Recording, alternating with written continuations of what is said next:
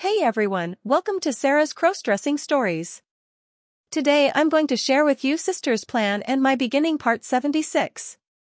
If you're new to the channel then please subscribe now for more captivating stories and please support me on Patreon and get early access at patreon.com slash sarah101. Mr. Grinnan was grinning from ear to ear. With obvious elation in his voice, he said, Dee Dee, I'm so happy that I can't express it in words. Those three were almost the death of this company. It was a sad day when they got control.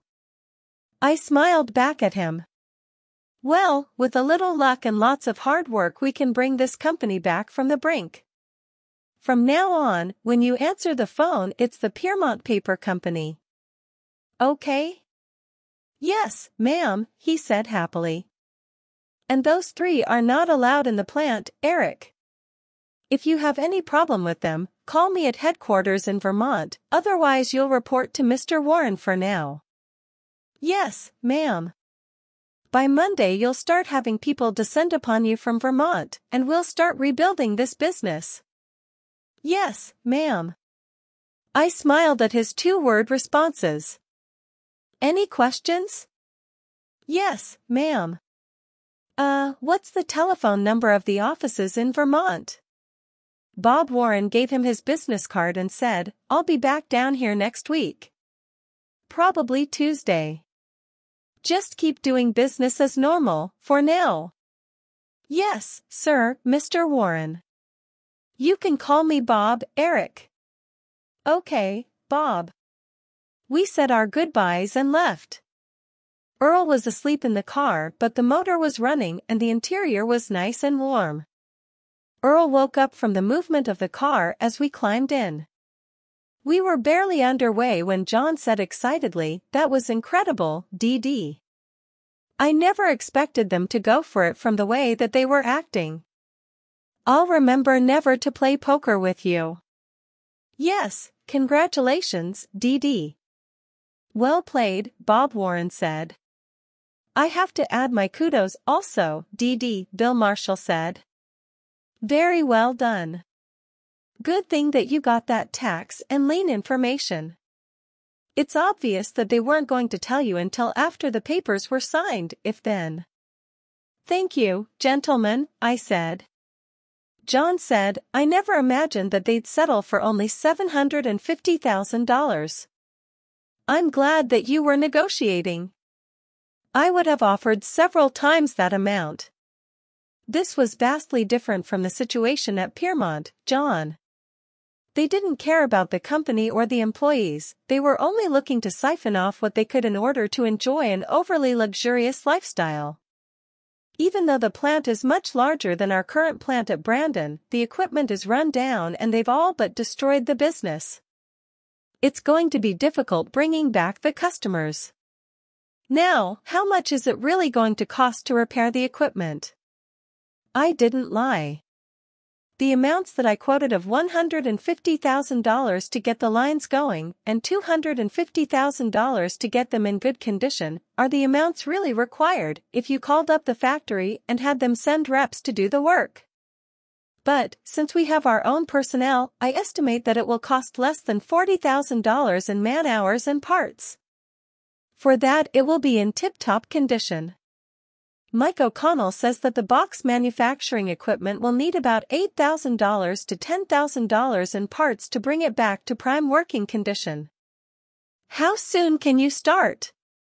I can free up two guys right away without impacting Piermont since we have the new men that we hired for the third shift. Mike O'Connell knows this plant and the equipment, forwards and backwards. He even told me what to look for on each machine. He'll be the senior man and I can send one of the younger guys to assist. It'll be a great learning experience for the new man. We can free up another two engineers if they're really needed, but that will leave us with just one man per shift in Vermont. Okay. Keeping box production going is the most important factor right now. We don't want to lose any more customers. Send your two men and have them concentrate on the box making equipment. We don't need the paper-making equipment just yet since we have building number 2 in Brandon ready to go when needed. Bill?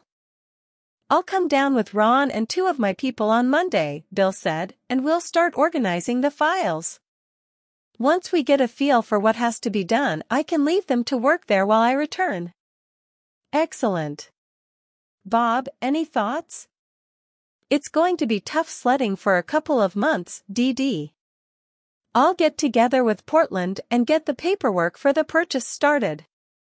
Then I'll contact the bank and inform them that we'll need 1.5 million now and possibly another 1.5 million over the next several months. The first 1.5 million will pay off the owners and clear up the back taxes and the lien. We'll start contacting creditors right away to verify the accounts payable information and inform them that as soon as the transfer is complete and we get the accounting system under control, we'll start reducing the debt. That will stall any action that they might have planned for at least 90 days. Then it's just a matter of trying to win back the business that they've lost. We'll have all of the customer invoice files transferred up to company headquarters in Brandon so Matt and his people can go to work on that job after they become acquainted with the product lines. I told Mr. Goldblum that we'd include him in the transfer. I said it was his investigator that got the information about the back taxes and liens so quickly. That not only saved us some problems, but gave me the information needed to close the deal. That's the problem with moving so quickly, DD. You really need time to look into all of these matters before you close a deal to buy a property. You really have to slow down a little when you're contemplating an acquisition like this. But sometimes you'll lose it if you hesitate. Bill Marshall said, I noticed from the accounting records that Oak Mill Paper's largest creditor is Southcore. They were continuing to ship on open account after everyone else, including us, had stopped, even though they weren't receiving any payments. It sounds like they were letting Oak Mill Paper hang itself so they could claim the body as the primary creditor. I think that primary predator would be a more apt name for those people, Bob said. I smiled at the comment and said, Southcore isn't going to be happy about losing another plant to us. We continued to talk about the job ahead for the rest of the trip. Even though it meant a lot of work, the thought of bringing a company back from near death was exciting. I never would have even considered it if Piermont hadn't been doing so unbelievably well. The question was, could we do it again? the new plant would more than double our capacity at a time when we were only using one-third of our present capacity. We would have to rely on the paper box business to carry the load of the new plant temporarily. At least the company wouldn't have to support junkets to Las Vegas or drug party sailing trips to nowhere. It was dark and almost six o'clock when we arrived back at the office. Since we were running a full second shift, the parking lot was more than a third full although most of the spaces nearest the yard entrance were vacant because the first shift had gone home. As usual, the guard saluted as the limo passed.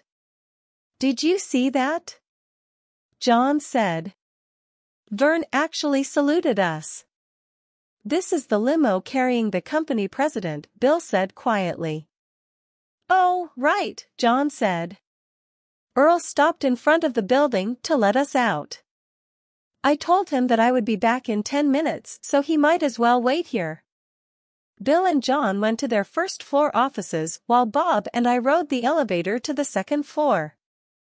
I gave Bob the letter of intent because he would handle the transfer from this point on.